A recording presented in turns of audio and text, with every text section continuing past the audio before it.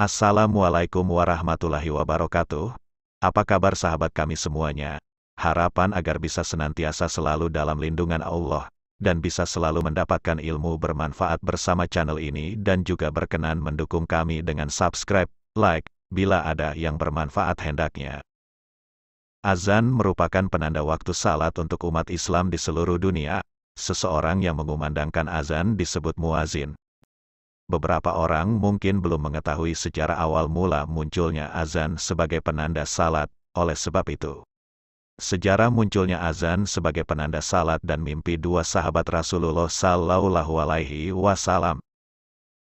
Diketahui munculnya azan sebagai penanda waktu salat bermula ketika Nabi Muhammad berkeinginan mencari cara dalam memberitahukan waktu salat, tetapi beliau belum juga menemukan cara tersebut.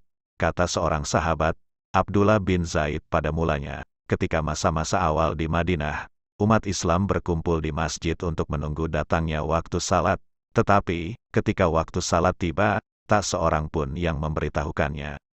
Para umat Islam langsung salat tanpa adanya penanda sebelumnya, seperti seolah sudah saling mengetahui. Sahabat Nabi Muhammad Sallallahu Alaihi Wasallam memberi beberapa usulan seiring berjalannya waktu dan berkembangnya agama Islam, banyak sahabat Nabi Muhammad yang tinggal jauh dari masjid, sementara lainnya mempunyai kesibukan yang bertambah sehingga tak bisa menunggu waktu salat di masjid.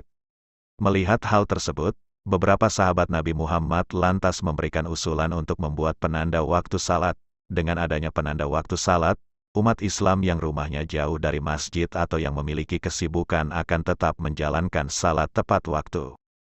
Beragam ide untuk penanda waktu salat diusulkan kepada Nabi Muhammad mulai dari lonceng seperti orang Nasrani, terompet seperti orang Yahudi hingga menyalakan api yang tinggi agar umat Islam yang rumahnya jauh dari masjid dapat melihatnya.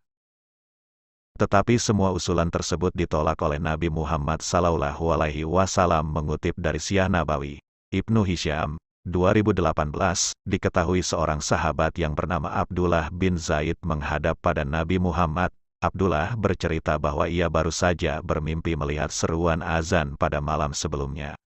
Dalam mimpinya tersebut, Abdullah bin Zaid didatangi oleh seorang berjubah hijau yang membawa lonceng. Abdullah bin Zaid berniat membeli lonceng miliki seorang berjubah hijau tersebut untuk memanggil orang-orang agar salat. Tetapi, seseorang yang berjubah tersebut memberikan saran padanya untuk mengucapkan serangkaian kalimat sebagai penanda waktu salat tiba, Serangkaian kalimat azan yang dimaksud yaitu, Allahu Akbar, Allahu Akbar. Ashadu alla ilaha illallah, Ashadu anna Muhammadar Rasulullah, Hayya alal solah hayya, alal solah, Hayya alal falah hayya, alal falah, Allahu Akbar Allahu Akbar, dan la ilaha illallah. Mendengar cerita tersebut, Nabi Muhammad lantas meminta Abdullah bin Zaid untuk mengajari Bilal bin Rabah cara melafalkan kalimat-kalimat tersebut. Ketika Bilal bin Rabah mengumandangkan azan, sahabat Nabi, Umar bin Khattab yang sedang berada di rumah mendengarnya. Umar bin Khattab kemudian segera menemui Nabi Muhammad dan menceritakan bahwa dirinya pun bermimpi tentang hal yang sama dengan Abdullah bin Zaid. Umar bin Khattab bermimpi azan sebagai tanda masuknya waktu salat. Nabi Muhammad disebutkan telah mendapat wahyu tentang azan. Oleh karena itu, Nabi Muhammad membenarkan apa yang disampaikan oleh Abdullah bin Zaid. Sejak saat itu, azan resmi dijadikan penanda masuknya waktu salat untuk umat Islam. Menurut pendapat yang lebih sahih, azan pertama kali disyariatkan di kota Madinah di tahun pertama Hijriah.